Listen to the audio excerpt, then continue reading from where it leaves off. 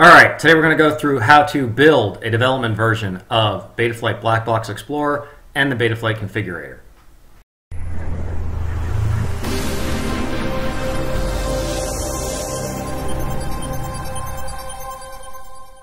Okay, so there's a lot of times where there is new things in the development versions of Betaflight Black Box Explorer and the configurator, and you might want to download those and start to use them. Uh, you know, this is for people that are you know really interested in just new features and things of that nature. I wouldn't say they're critical until you get to stable releases, but for example, right now there's something in the Black Box Explorer where you can get the waterfall graph or the spectrum plot uh, so that it can differentiate between what throttle values the noise is at, and it's, it's, right in Black Box Explorer. One of the simplest ways to do that for Betaflight Black Box Explorer is you can simply go to the repo and then go ahead and hit download clone, and you just hit this download zip file here, and then you can add that right in the Chrome. And I have a video on that. I will link that to the upper right hand corner, which would be this side, I guess, and it shows that. But you know, with the Chrome app, a lot of people don't like to do that. I still have Chrome on my computer because of the BLHeli Configurator Chrome app. And uh, one thing I do like about uh, having the executable is that you can double click on logs and it just opens in Black Box Explorer. Whereas the Chrome app, you got to launch the Chrome app and go open the file. I just like the double clickability uh, with the install version of it. Now for the Betaflight configurator, you just you don't go to the repo to download the Chrome app. You would have to go to the Betaflight configurator here under the Betaflight Jenkins and click on that. And then once you're in there, there is a Chrome build of it that you can download, put in a directory. You can see the Chrome build right here. Put it in a directory and then do an unpacked extension. The same thing you would do for the Black Box Explorer, you can do for the configurator. Again, I've noticed that it, when you switch to the expert toggle or expert mode, that toggles itself back. It will just be really nice to have your own build. But there's no exe here for Windows users, and then same thing for the Betaflight Black Box Explorer. Even under the Jenkins, there is no Betaflight Black Box Explorer here. You can only really download it from the repository. If you're looking to find the repositories for the Betaflight configurator or Black Box Explorer, just go to Google and type in Betaflight configurator, and nine times out of ten, it will be right here as one of the search results.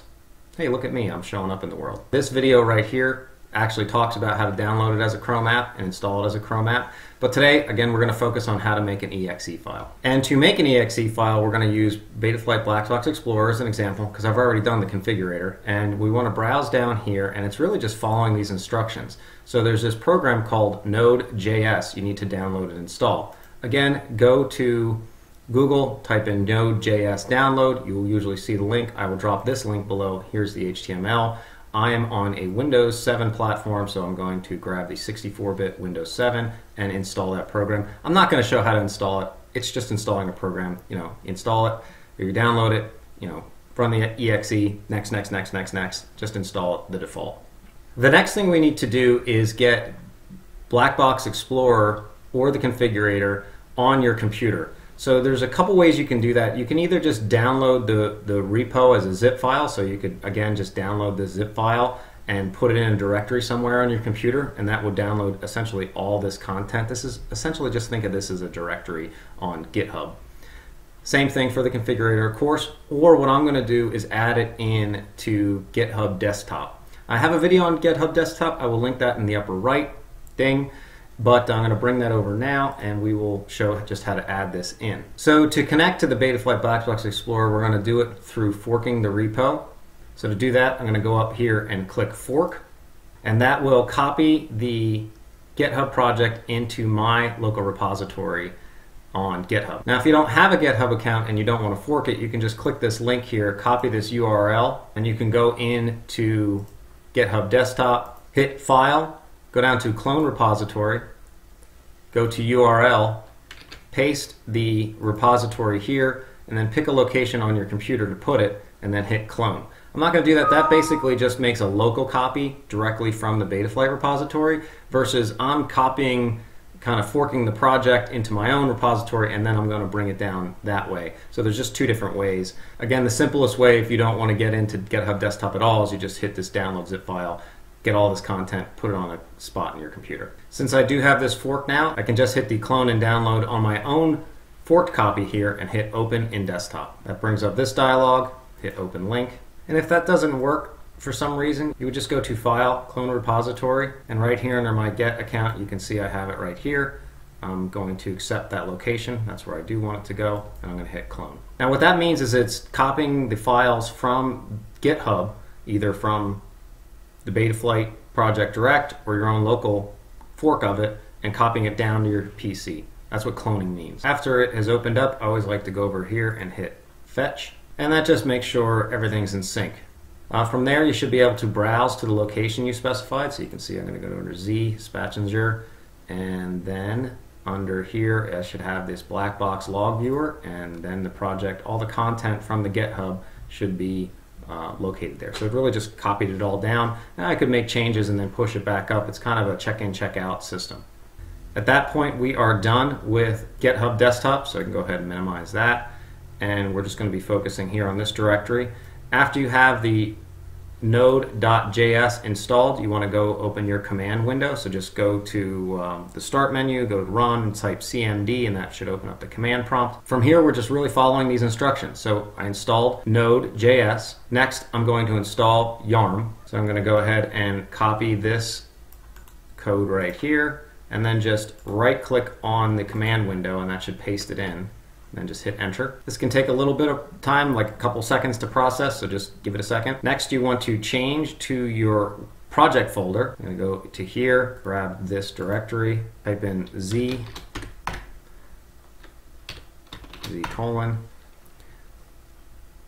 then type in CD and paste that path again, hit enter, and that put me in as my active directory in the command prompt into this where this project is located. After we're switched into the project directory, don't forget you have to type yarn install. So go ahead and type yarn install.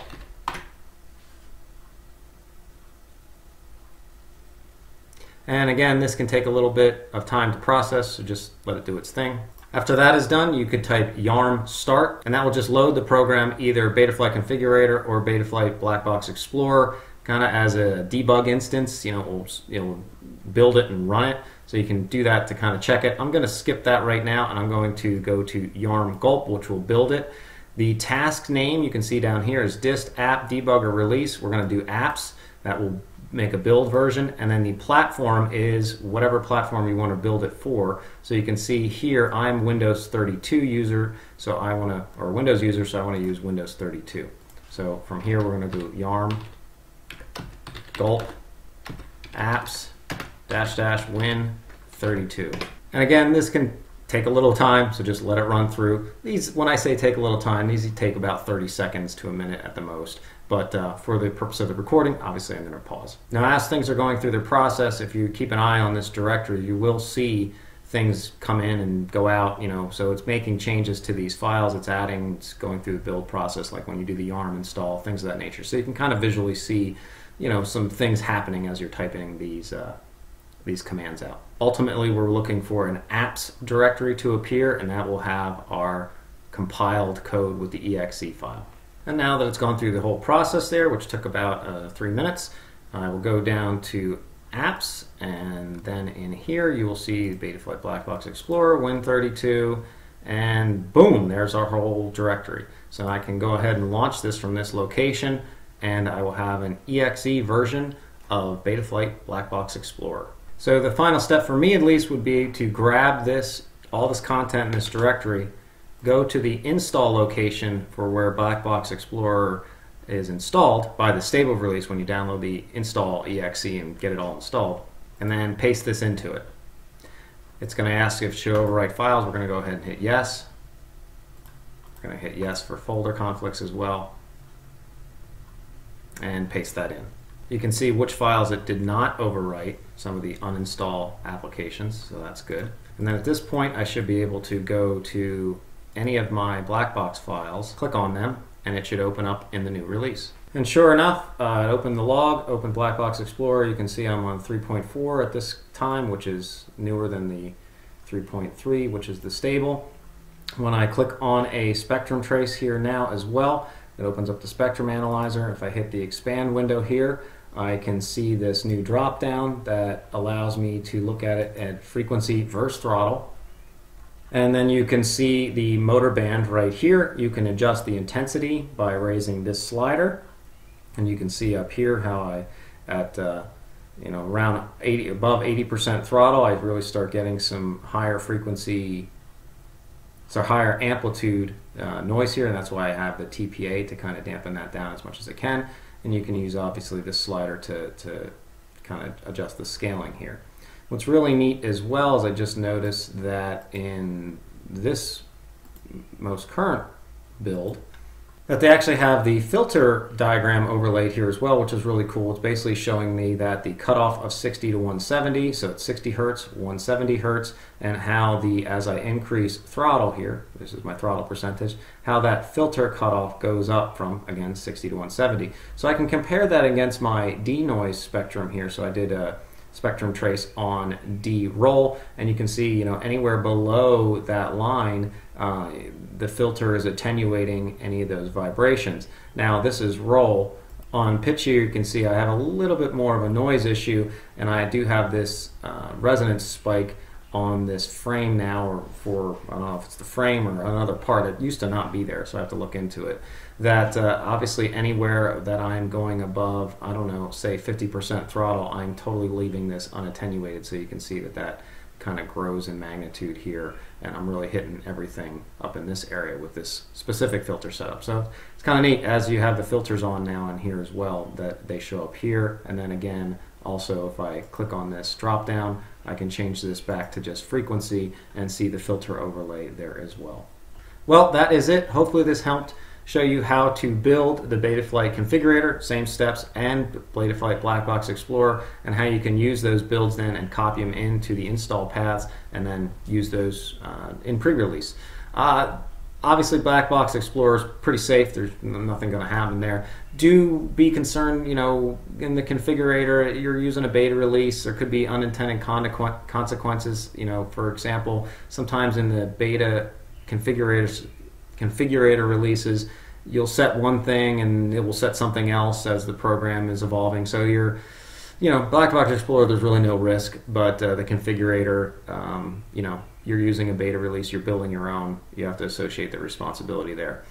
If contributing to the Betaflight project is something you're interested in, I always know that they welcome loads of help with the graphical user interface side. It seems like most people want to participate in the project in you know coding up stuff for Betaflight, but the configurator and Black Box Explorer, go ahead and get on the Betaflight Slack. There's links on any of the, uh, the repos and uh, chime in there or raise your hand. I'm sure it will be definitely welcomed. Thanks, everybody, and I hope this helped.